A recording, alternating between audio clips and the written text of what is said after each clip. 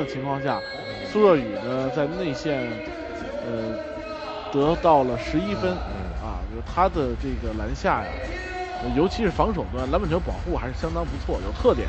那我就投篮，哎，对他实行了一个延误的特点。对，第二，如果球到了你手里，人家知道你投篮好了。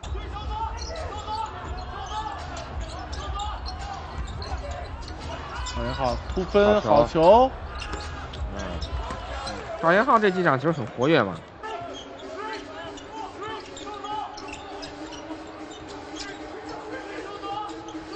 时间长也是时间长。你看我们两个人往里好球给了跟跳终于传出一个。福特森今天可能整个晚上都会面临这样的防守。啊，胡金秋，胡金秋在这个位置上啊，是非常的准。他那球啊是就相对静止的一个状态，往里坐打不是常林的特点。对，常林这个特点爆发力强就是哎爆发力强。过来之后好球，胡金秋。我我估计李春江指导啊，可能就就对他也已经是习惯了习。惯对，李指导这一个这，看看能不能通过突破来扯动联防。哇，哎呦哇好球！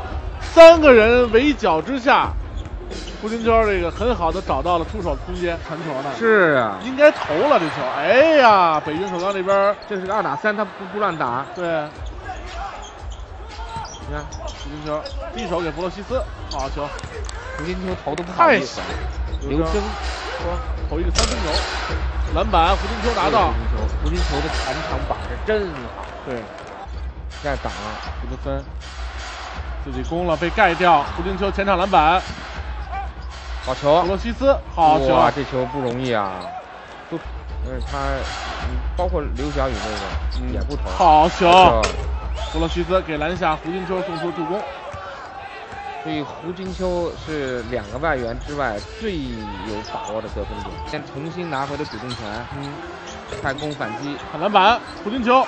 挺有这个前场板。犯规了。整个这个广厦队里边，啊，胡金秋今天拿到了十八分，还有九个篮板球，这一节三分就对外援来说，胡金秋这儿的这个这个饭呐就少了，掉篮下，这球给的漂亮，二加一没有啊，没有，那情绪受到一点影响。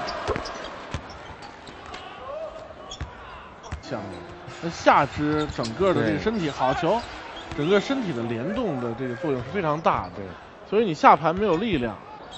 底角方硕三分球，好，最后呢时间没有了。那这样全场比赛结束，最终呢浙江广厦是一百零三比九十七，在客场击败了北京首钢。